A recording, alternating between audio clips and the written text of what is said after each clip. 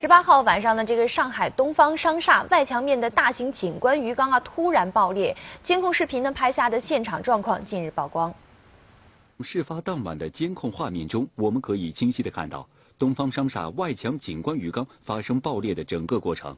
当时在现场，无论是店方的工作人员，还是顾客以及路过的行人，都没有任何的心理防备。而临近鱼缸的化妆品柜台完全坍塌，到处都是飞溅的玻璃碎片。最厚的玻璃碎片有二十五公分。鱼缸爆裂后，缸内的三条鲨鱼全部飞出缸外。爆裂分别导致七名商场工作人员和八名顾客及行人受伤。十五名少年，除了有一位是左腿骨折还在手术中之外，其余十四位都完成了初步的诊疗。这座爆裂的景观鱼缸长约八米，高约五米，在客流密集的商场放置它，本身的质量结构是否满足安全使用的要求呢？